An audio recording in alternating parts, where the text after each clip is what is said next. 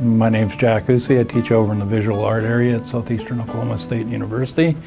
I uh, got my Bachelor of Fine Arts at the University of Manitoba in Winnipeg, Canada. I got my Master of Fine Art degree at the University of North Dakota in uh, Grand Forks, North Dakota. For the past 14 years have taught at Southeastern in the visual art area and the graphic design.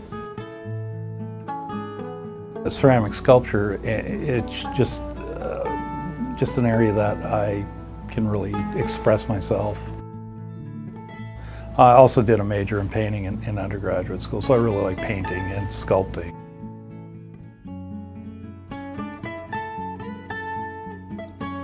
I've had shows between Canada and here, so. Goddard Center a couple of years ago I won Best in Show for a series of ceramic pieces that I put in.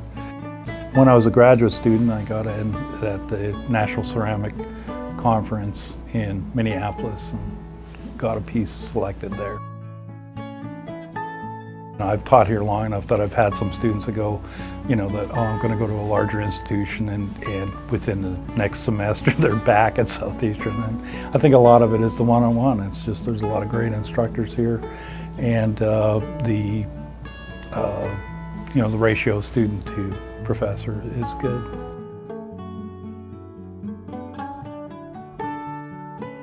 There is no prerequisite for like taking a drawing class or 2D design some, or ceramics and uh, take the class. And if you find out it's something that interests you, then carry on.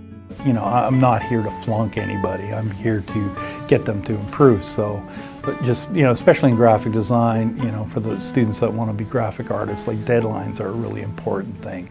So I, I really try to ensure that, you know, submit it by the deadline.